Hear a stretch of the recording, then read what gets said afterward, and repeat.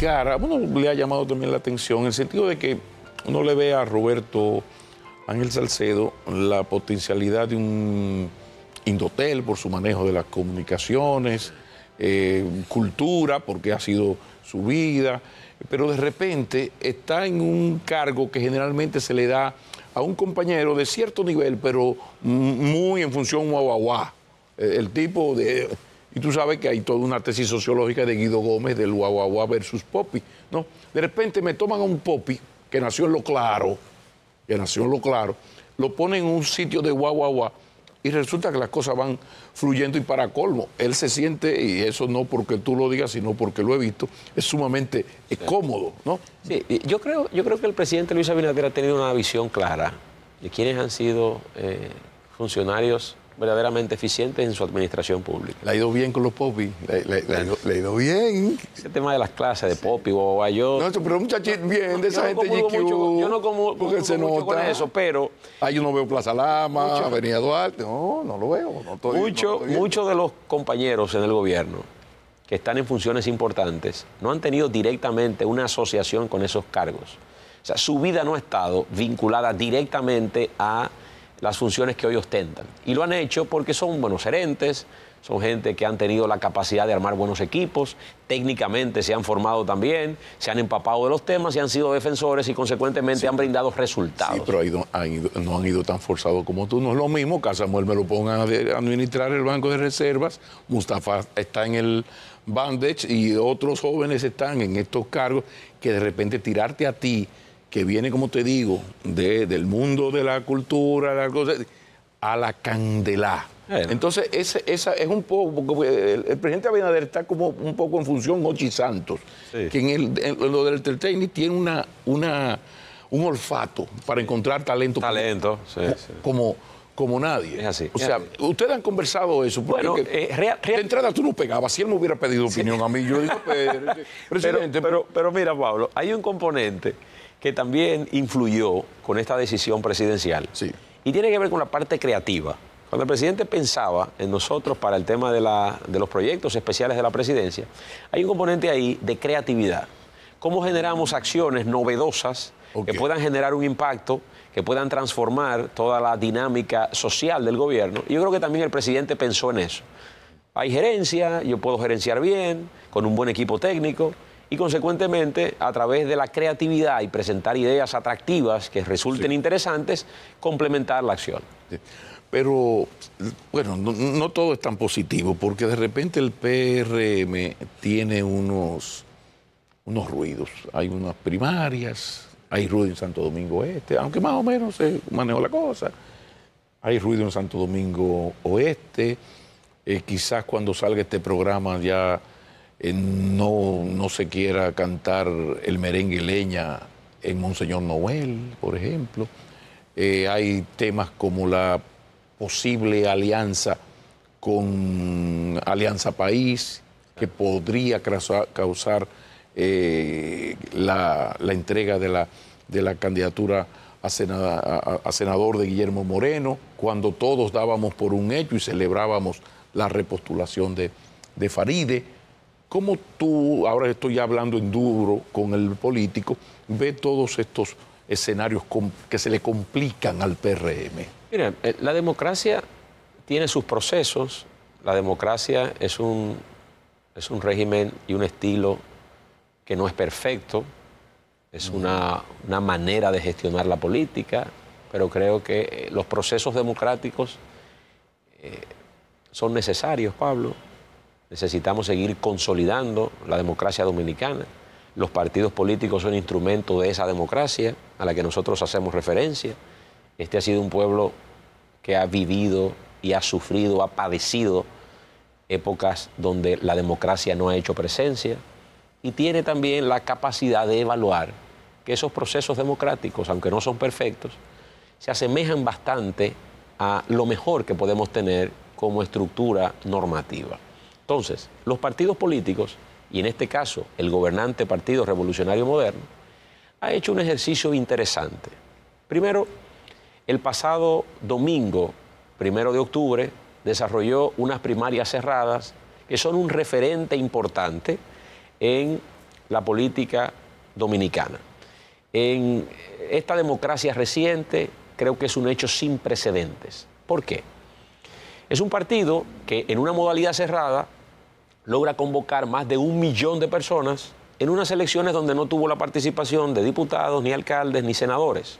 Estaba reservada para la candidatura presidencial sin una competencia real y había una participación activa de regidores, directores de distrito y vocales, con la excepción del municipio Santo Domingo Este y el Oeste, pero en esencia no había una competencia intensa, álgida, que usted diría, bueno, eso va a generar una motorización de la estructura política y partidaria de la base.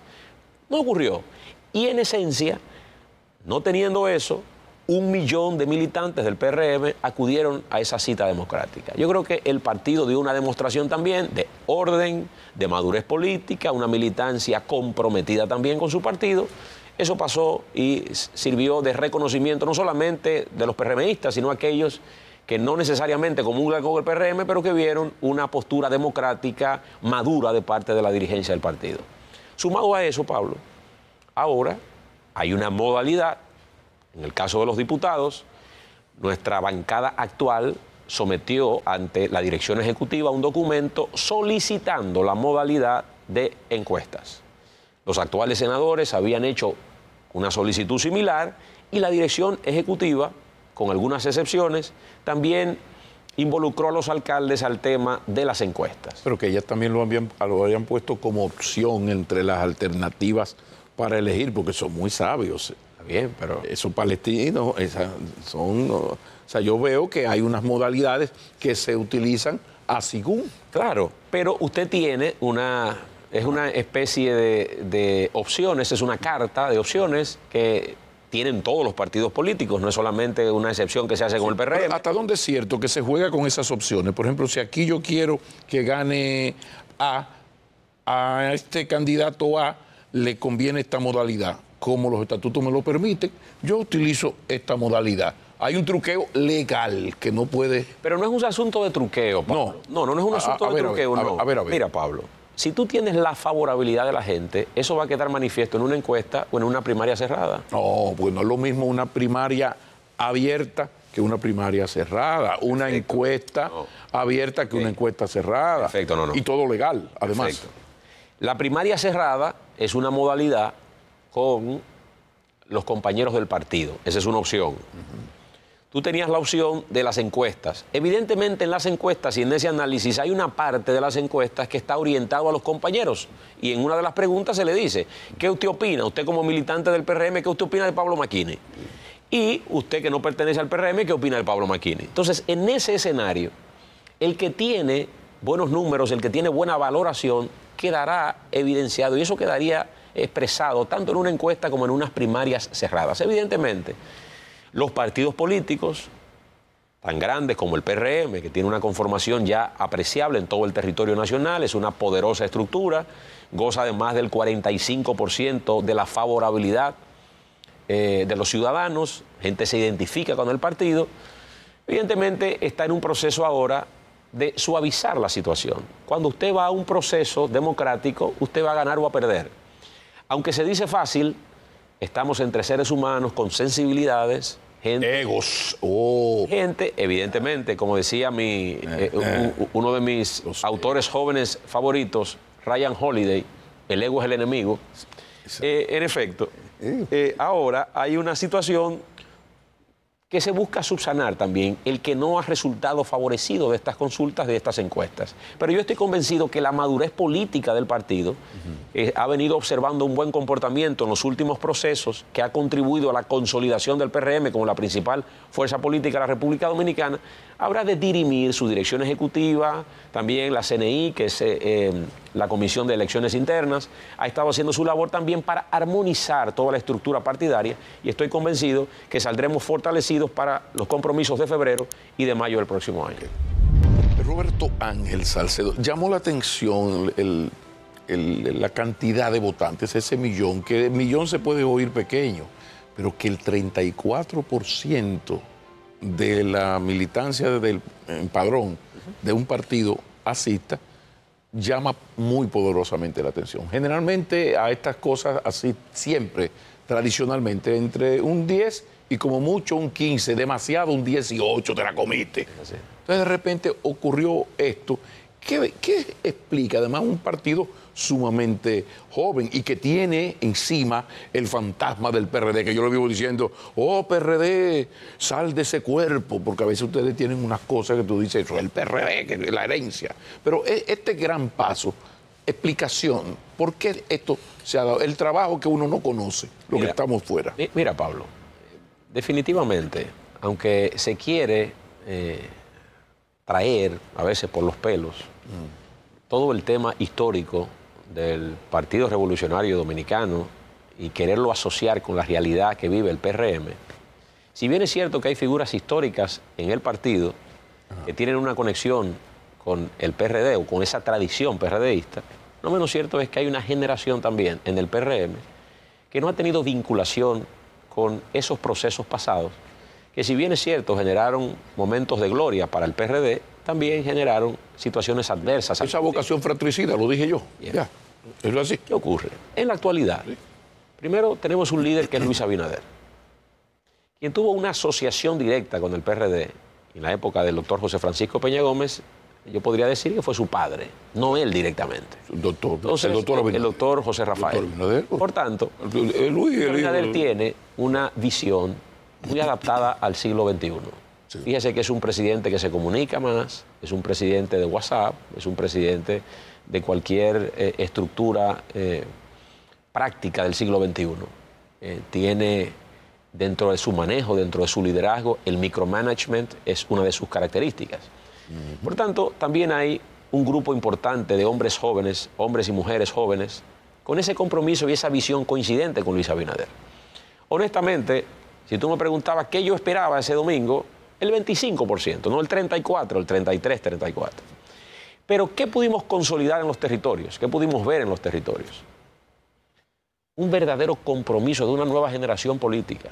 Hay muchos jóvenes. ¿Cómo está el PRM en juventud? Sí. En juventud. Eh, yo creo que nunca como ahora el PRM ha estado llevando a la práctica lo que siempre decía el doctor José Francisco Peña Gómez de la conjunción de lo mejor de lo nuevo con lo mejor de lo viejo. Eh, esa, esa, esa, práctica que Peña Gómez proyectaba, yo creo que está eh, en este momento materializándose efectivamente en el partido. Tenemos un liderazgo tradicional que es fundamental, que es determinante porque a través de la experiencia también hay elementos y acciones del pasado que no tienen por qué repetirse, teniendo uno fresco la experiencia de muchos líderes del partido, sumado a una nueva camada, a una nueva visión, a un liderazgo fresco, con ideas nuevas. Yo creo que esa fusión ha sido interesante y es lo que ha podido proyectar al partido desde su presidente y su secretaria general, son gente joven, gente vigorosa, con una visión muy actual de la vida y de la política, y eso ha contribuido de manera significativa a que eso que ocurrió el pasado domingo, primero de octubre,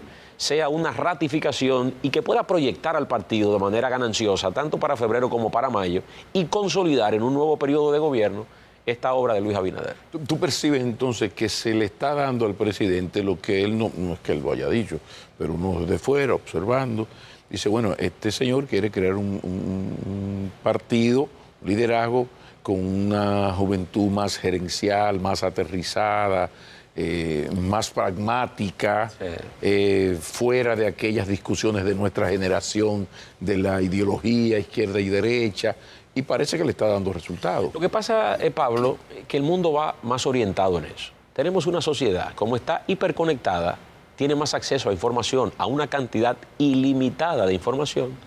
Por tanto, uno debe ser mucho más gerencial, debe irse más a la práctica que a la teoría. No es que no seamos teóricos, no es que podamos, no podamos discutir las cosas, pero en términos prácticos la gente tiene mayores demandas tiene menos tolerancia a la espera, la capacidad de espera hoy de los pueblos es mucho más limitada y eso lleva a los gobernantes a ser mucho más incisivos, mucho más eficientes con la gestión de las políticas públicas. Por tanto, yo creo que Luis Abinader, el gobierno y esta sociedad han estado actuando de manera correcta, la sociedad demandando y Luis Abinader atendiendo ese llamado. Y el que lo dude, que compre, está en internet el libro del fin del poder de Moisés Naim. Así, explica. Así es. Nunca fue tan fácil llegar y tan rápido y tan fácil salir. Salir, así es. Eh, además, la maldición del tercer periodo ahora es una realidad intocable. Pobre del presidente que quiera eh, insistir en un tercer periodo. Sí, pero aquí nosotros estamos y Porque tú estás de acuerdo con uno más uno y nunca más. Tú no eres de los que en el 27 me va a llamar para decir que el país necesita que se modifique la constitución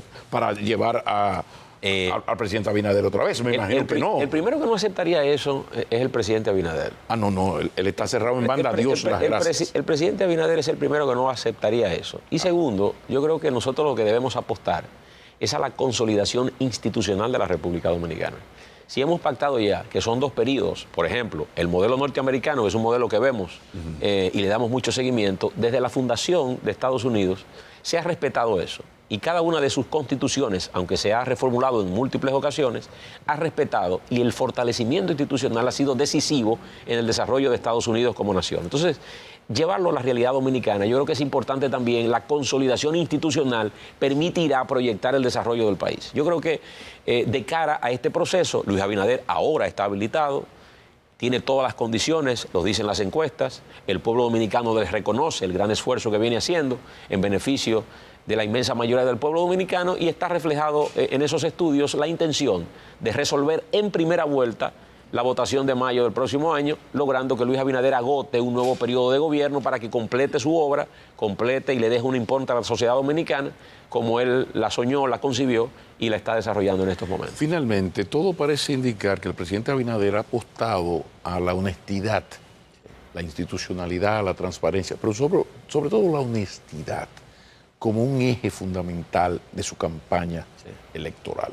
Y el hecho de que el, el concepto apareciese siete, ocho veces en un texto de página y media, te dice que por ahí van las cosas. Sí. Pero eso, tú no consideras que eso tiene sus riesgos, porque usted puede hablar por usted y quizás por un equipo más cercano, pero un gobierno es mucha gente. Lógico. Entonces tú poner en un país con la cultura política de la República Dominicana, la tradición de corrupción con impunidad que hemos tenido durante décadas y décadas, tú girar una campaña en torno a un concepto no tangible como la honestidad, ¿no es peligroso, Roberto Ángel? Pablo, siempre escuchamos de cualquier medio de comunicación las observaciones de gente como tú, influenciadores, sobre la necesidad de institucionalizar el país. Entonces, debemos pasar de esa retórica a la práctica. Y Luis Abinader ha estado practicando eso. Entonces, es un ejercicio permanente. Evidentemente, nadie dijo que fuera fácil. Nadie dijo que lo íbamos a conseguir. Nadie dijo que lo íbamos a conseguir tan rápido. Ni nadie niega el riesgo. tiene, Exactamente. porque hay un riesgo. evidentemente, pero desmontar eso, profundizar cambios en la sociedad dominicana no es tarea sencilla. Es desmontar un modelo que se ha consolidado con el tiempo ahí y requiere a su vez tiempo para desmontarlo. Por eso, todo el que está sirviéndole al Estado dominicano, al gobierno dominicano, a través del presidente Luis Abinader, tiene que mantener una política coherente con lo que él ha estado eh, desarrollando, que es una política de independencia y respeto de los poderes públicos, independencia del Ministerio Público, independencia para que los órganos puedan interactuar. Fíjese cómo él eh, se ha desarrollado en el Consejo Nacional de la Magistratura, los jueces de las altas cortes eh, son escogidos de manera eh, institucional, de manera equilibrada, fuera del partidismo político. Todo eso contribuye, Pablo, a una mejora y a un fortalecimiento institucional que probablemente la gente no le reconozca ahora en un 100% a Luis Abinader, pero con la consolidación de esos hechos, en el tiempo sí habrá de reconocerse a Luis Abinader como un presidente reformador, un presidente con una visión de futuro, de Estado, que es lo que estamos necesitando en estos momentos y en, esta, eh, en este contexto especial que vive la República Dominicana. Muchísimas gracias. Gracias, Pablo. Usted tiene la encomienda de llevar mis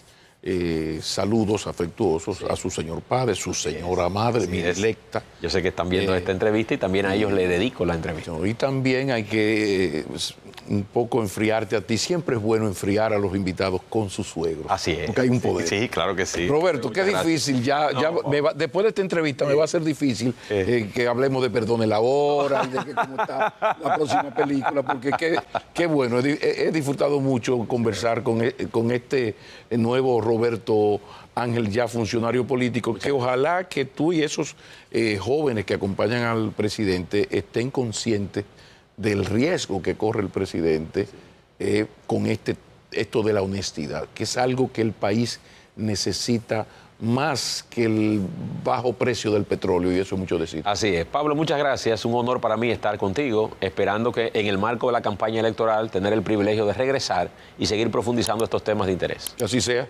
Ustedes sean felices. Si es en familia, mucho mejor. Bendiciones.